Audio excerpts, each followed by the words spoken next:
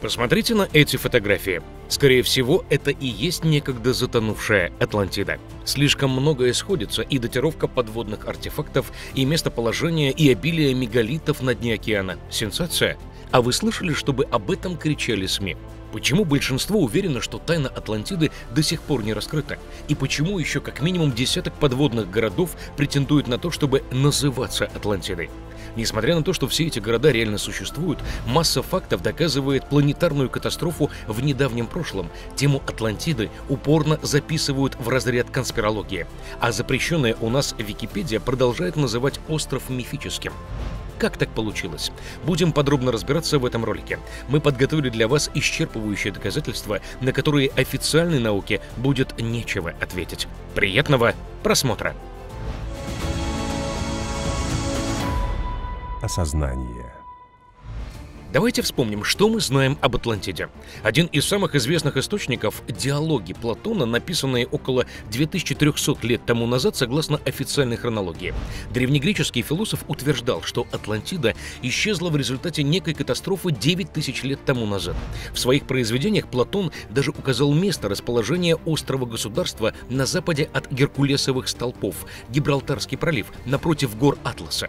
Вот так она выглядит на одной из древних карт – Согласно описаниям, представители этой цивилизации были высокоразвитыми существами, полулюдьми, полубогами. Они не только построили величественные города, но и создали идеальное устройство общества. Атланты, потомки бога Посейдона, ему они поклонялись, в его честь возводили храмы. Но откуда же Платон мог узнать про Атлантиду? Оказывается, от древнегреческого мудреца Салона, кстати, своего предка по материнской линии. А вот сам Салон узнал об Атлантиде во время пребывания в Египте и общения там со жрецом храма богини Нут. Если собрать сведения об Атлантидах из этих и других источников, получится такая картина. Атланты обладали невероятными знаниями, они создавали чудесные металлы, использовали кварц для накопления и передачи информации, строили воздушные корабли и подводные лодки, пользовались атомной и электрической энергиями, летали в космос, возводили циклопические здания и причудливой формы сооружения.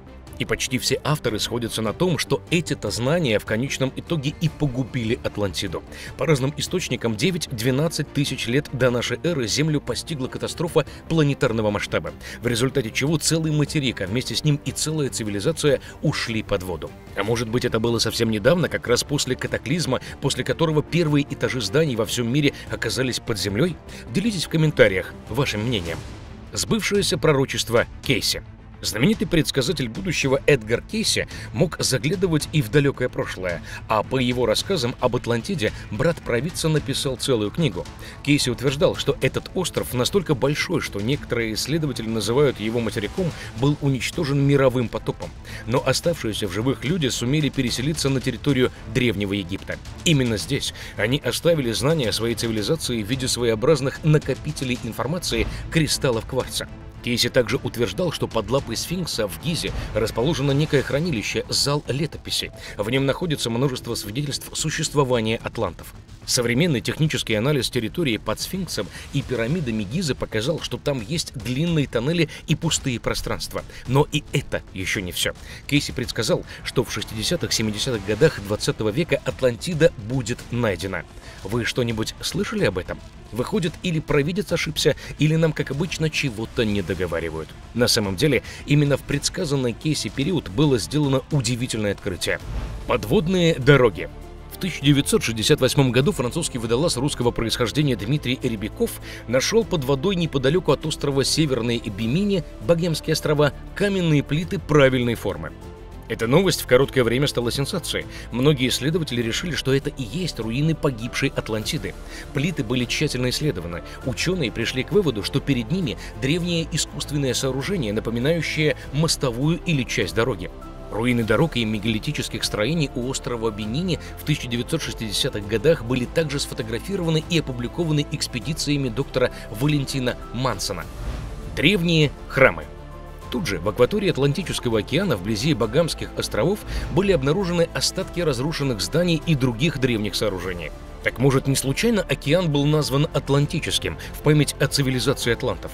Это, вероятно, величайшее открытие в мировой истории, заявила Максен Ашер, руководитель научной экспедиции, обнаружившей Атлантиду на дне океана. Об этом даже сообщили United Press International и крупные газеты США.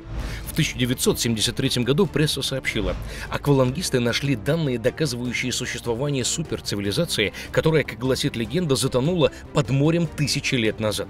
Масштабы исследований поражают. Судите сами, была выделена группа около 70 ученых, состав был одобрен Университетом Лос-Анджелеса, штат Калифорния.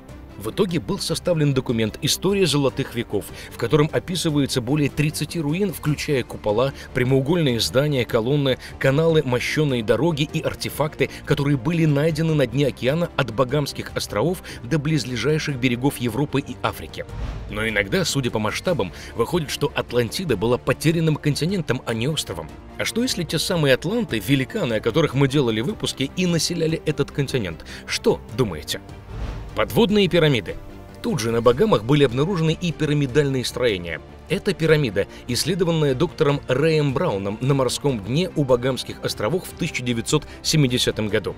Брауна сопровождали четыре дайвера, которые помимо этого нашли дороги, купола, прямоугольные здания, неопознанные металлические инструменты и статуи с таинственным кристаллом. И вот что интересно, внутри этого кристалла были обнаружены миниатюрные пирамиды. Металлические приборы и кристаллы были доставлены во Флориду для анализа университетской лаборатории. Опытным путем было установлено, что кристалл усиливал энергию, проходящую через него. Обратите, кстати, внимание на форму пирамиды. Вам тоже кажется, что у ацтеков и майя были почти такие же? Добавьте к этому древние таблички, сфотографированные в Перу, на которых изображены эти два потерянных континента – Атлантида и Лемурия, а также древние карты, на которых четко показана Атлантида. Не слишком ли много совпадений? И это далеко не единственная подводная пирамида, найденная у Багамских островов. Так исследователь Тони Беннелк обнаружил пирамиду из 11 комнат на глубине 10 тысяч футов под водой. В 1977 году в прессе мелькнуло сообщение об огромной пирамиде, найденной у Кейсала на Багамах. Она была сфотографирована экспедицией Ари Маршала примерно в 150 футах под водой. Высота пирамиды была около 650 футов. Таинственным образом окружающая вода была освещена искрящейся белой водой, вытекающей из отверстий в пирамиде, а сама она испускала зеленоватое свечение. Но почему большинство об этом ничего не слышало? Неужели сплетни о певцах важнее этого? Справедливости ради, надо сказать, что есть на планете и другие затопленные города, которые исследователи считают остатками древней Атлантиды. Среди них затонувшая цивилизация у острова Крит, Олус, окрестности Кадиса, Испания, наша Фанагория, Тронис, Гераклеон, Египет и еще целый ряд затопленных городов по всему миру – в Индии, Китае, Латинской Америке. Может быть, это последствия недавней планетарной катастрофы, после которой на планете сменился климат и были уничтожены целые материки? Если интересно, пишите комментарии, мы сделаем продолжение. А в заключение еще два факта в доказательство существования Атлантиды. Таинственный Арихалк – по свидетельству историков, Атлантида славилась уникальным металлом красноватого оттенка. Греки дали ему название орехалк. Этот металл по цене уступал только золоту и очень ценился в других землях.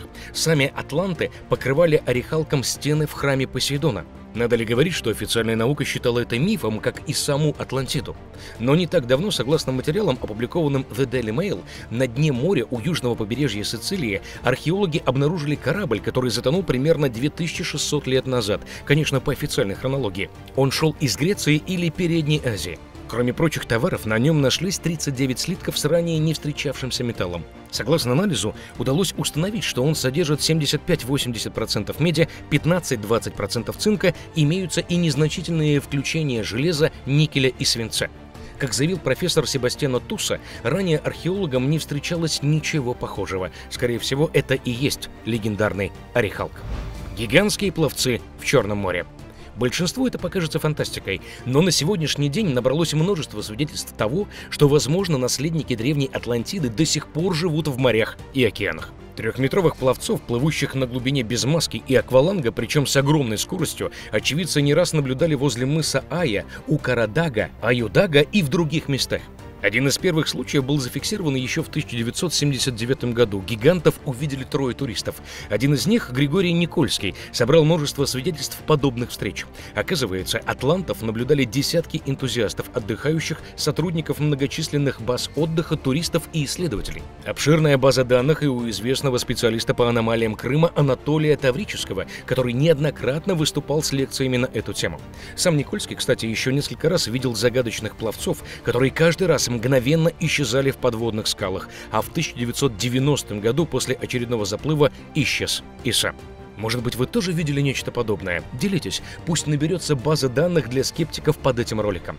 Одна из вероятных причин гибели Атлантиды – необдуманное применение атлантами некого супероружия, что и вызвало всемирный потоп. Но кто с кем и по какой причине воевал? Оказывается, и тут существует множество версий. Но об этом мы расскажем в наших новых выпусках.